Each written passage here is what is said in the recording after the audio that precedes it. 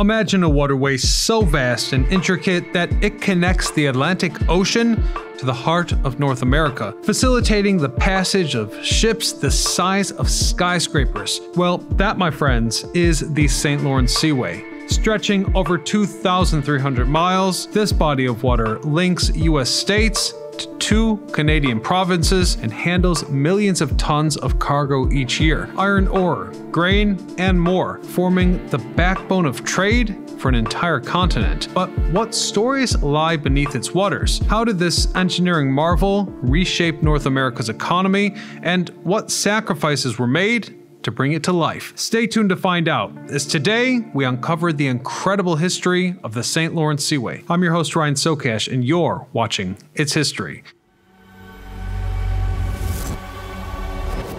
The St. Lawrence River is one of North America's most important waterways, shaping history long before the idea of the seaway even existed. It connected people, powered trade, and inspired innovation. But to understand the rise of the St. Lawrence Seaway, we first need to dive into the river's early history. The St. Lawrence River flows from Lake Ontario to the Atlantic Ocean, forming part of the modern border between Canada and the US. This natural highway has been essential for centuries, supporting the livelihoods of both indigenous people and early explorers alike, long before the concept of engineered canals and locks even existed. The river sustained communities. In fact, it was this waterway that supplied the indigenous people with resources, as they relied on its water for food and trade. And according to some sources, these type of activities there go back a thousand years. When Europeans arrived in the Americas, the St. Lawrence became a gateway for exploration. French explorer Jacques Cartier explored the river in 1534, giving it its name after arriving on St. Lawrence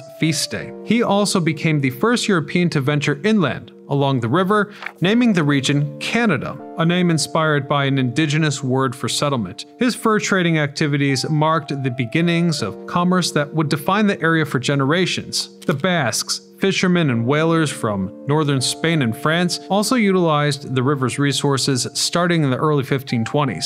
They traded with indigenous people, showcasing how the river fostered cross cultural exchange well before formal colonies were established. By the 18th century, the St. Lawrence River had become a crucial artery for trade and conflicts. During the Seven Years' War, known as the French and Indian War in the United States, the St. Lawrence played a key role in military strategy, serving as a critical route for British and French forces. But if we move forward another century, it was this area that saw the introduction of some of the first steamboats in 1809, which transported goods and passengers between Quebec and Montreal. As industrialization took hold, engineers sought to overcome the river's natural obstacles, though some small canals already existed and were built by the British between 1779 and 1781. In fact, these were the first lock canals in North America, allowing small boats to bypass rapids as well as other dangerous obstacles near Montreal. For larger ships, however, the Welland Canal became a game changer. Completed in 1829, it connected Lake Ontario to Lake Erie, allowing ships to bypass Niagara Falls. Over time, successive versions of the Welland Canal were built, culminating in the modern Welland Ship Canal built in 1932. Now, an integral part of the St. Lawrence Seaway. Hence, through centuries of trade, exploration, and innovation, the St. Lawrence River evolved from a natural waterway into the foundation of one of history's greatest engineering projects, a project that would forever change North America's economy and landscape. By the late 19th century, the idea of creating a formal waterway that connected the Atlantic Ocean to the heart of North America had gained traction. However, the journey to making the St. Lawrence Seaway a reality was long, complex, and filled with setbacks. The concept of a fully engineered passage, of course, wasn't entirely new. Decades earlier, projects like New York's Erie Canal had demonstrated how transformative such infrastructure could be. Opened in 1829, the Erie Canal revolutionized trade by linking the Great Lakes to the Hudson River, making it a cornerstone of commerce, for nearly a century. However, as trade expanded and ship sizes grew, it became clear that a larger, deeper waterway was needed, one that could accommodate modern vessels and connect the Great Lakes directly to the ocean. And so it was. In 1985, the Canadian Deep Waterways Commission was formed to evaluate the potential for a new more ambitious seaway. This effort gained international attention, and by 1909, the International Joint Commission continued the dialogue between the US and Canada. Yet, despite growing interest, no formal agreement emerged. Political concerns, economic priorities, and competition from railroads and other ports repeatedly stalled progress. The 1930s brought a renewed push for the project, though, as this was the time that finally Canada and the US signed a treaty of intent. But opposition from the US Senate and Ontario's government halted its momentum. Critics worried that a new waterway would harm railroad infrastructure, Gulf and Atlantic ports, as well as other established trade routes. The debate intensified, with even toll proposals failing to win over skeptics. However, as time passed, despite these obstacles, support for the Seaway grew, driven by the promise of economic growth and the need for modern infrastructure. By 1936, influential groups like the Great Lakes Harbor Association and the Great Lakes Tidewater Commission brought the case for the Seaway directly to President Franklin D. Roosevelt. Advocates pointed out how it could boost trade, especially for commodities like grain. Talks resumed in 1940, but once again, the US Congress remained unconvinced, fearing economic disruption in other regions, which remained the case until World War II which unexpectedly underscored the strategic importance of the St. Lawrence River. You see, during the Battle of St. Lawrence, German submarines targeted Allied ships, disrupting both military and commercial operations. This wartime vulnerability reminded leaders of the need for a modernized and secure waterway. After the war, Canada decided to move forward independently,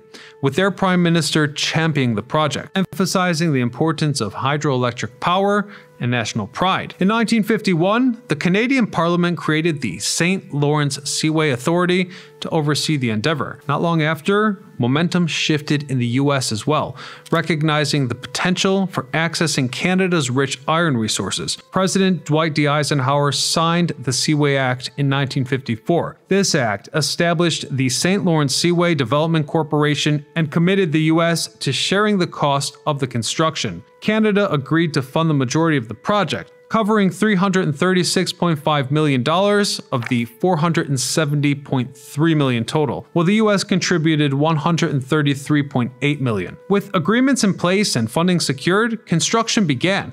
The Seaway would soon become one of the most ambitious engineering collaborations between two nations ceremonies marked the groundbreaking, signaling a new era of cooperation between Canada and the US. Years of political debates and logistical challenges gave way to the labor and ingenuity needed to bring the St. Lawrence Seaway to life. It was a bold undertaking that promised to reshape North America and redefine the waterways that long served as its lifeline. But path to progress wasn't without sacrifices. The construction of the St. Lawrence Seaway was a massive endeavor that required cutting edge engineering, thousands of workers, and a vision to connect the Great Lakes to the world. Over 22,000 workers took part in the project, moving millions of cubic yards of rock and concrete to shape one of the most ambitious waterways in history. The Seaway comprises of two main sections the Welland Canal, which connects Lake Ontario to Lake Erie, and the newer portion stretching from Montreal to Lake Ontario. Together, these two sections form a 15 lock system that links the Atlantic Ocean to the heart of North America. During construction, engineers faced a unique challenge of ensuring the new locks aligned with the existing infrastructure of the Welland Canal. Built decades earlier, the Welland locks had size constraints that the new locks had to account for, ensuring seamless navigation for ships traveling inland. But beyond altering the waterways, the project required reshaping the surrounding land. In Montreal, four bridges were modified in 1954 to allow larger vessels to pass safely. But it wasn't easy and such achievements came with many sacrifices. One of the most tragic outcomes of the construction project was the flooding of the lost villages. Ten communities permanently submerged to make way for the Moses Saunders Power Dam. Thousands of residents were relocated to towns like Long Sault and Ingleside with compensation offered for their losses. However, disputes over property values and emotional ties to their homes left a lingering sense of loss. On July the 1st, 1958, the cofferdam holding back the waterway was destroyed, and the villages disappeared beneath the rising water. But these challenges aside, the Seaway was completed with remarkable speed. By 1959, the Great Lakes region was connected to the world with a waterway capable of supporting global trade. The grand opening of the St. Lawrence Seaway in 1959 marked the dawn of a new era for trade and transportation. The world watched as the first ship traversed this engineering marvel, paving the way for economic transformation. The official opening ceremonies on June the 26th, 1959 were a spectacle of international collaboration. Queen Elizabeth II and President Dwight D. Eisenhower presided over the event, emphasizing the Seaway's importance as a joint achievement between Canada and the US. The following day, more ceremonies continued in New York, with Vice President Richard Nixon also in attendance. The impact was immediate. Trade boomed as iron ore, limestone, coal, and grain flowed into the Great Lakes region, fueling industries, expanding settlements, and providing economic opportunities for millions. Farmers, factory workers, and mariners alike benefited from the surge in goods reaching the interior of North America. But not every region thrived. For example, the Erie Canal, once a cornerstone of U.S. commerce, was rendered obsolete by the seaway's efficiency, and towns along that canal faced immediate economic decline, with commercial hauling ceasing entirely by 1994. Well, it has since been repurposed for recreation. The story of that canal is a good reminder of how progress in one area can mean the decline of another. The St. Lawrence Seaway was an undoubtable triumph during its prime, transforming the Great Lakes into a global trade hub, but as you might imagine, no achievement lasts forever. For decades, the St. Lawrence Seaway was the cornerstone of North American trade. Anniversaries marked its achievements, and updates like the rehabilitation of the Welland Canal in the 1980s and the establishment of nonprofit management in Canada through the St. Lawrence Seaway Management Corporation in 1998 aimed to keep it competitive. Additionally, the Water Resource Development Act further bolstered U.S. operations by transitioning the Seaway to an appropriated agency without sea tolls. Yet, as global trade evolved into the 21st century, the Seaway's importance still began to wane. Shifting priorities, changing industries, and new trade routes gradually eroded its dominance. In other words, this decline is tied to a broader shift in international trade. Well, it was once a vital artery for trade between Europe and North America. The US now focuses more heavily on trade with South America, Africa, and Asia, meaning ports on the west coast and southern United States have gained prominence, as they are closer to these regions and better suited for modern shipping demands. Though the Seaway remains operational,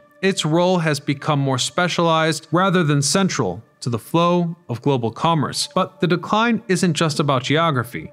It's also about changing industries and technologies. One key factor is the shrinking of the steel industry in the Great Lakes region. For decades, iron ore was a cornerstone of shipments through the seaway, but the rise of recycling and scrap metal has significantly reduced the demand for fresh iron. So as the region's steel industry contracted, so too did the need for raw materials transported via this passage. Furthermore, the decline of coal as a dominant energy source has brought the same effect. Once a critical commodity shipped through its locks, coal has been sidelined by the push for renewable energy and natural gas. This shift represents not just a regional trend, but a global one, as environmental priorities in particular drive change. Though it should be emphasized that the Seaway still plays a role in North American trade. In 2022, for example, 36.2 million tons of cargo moved through its locks, a notable figure, but far below the 222 million tons moved in 2002.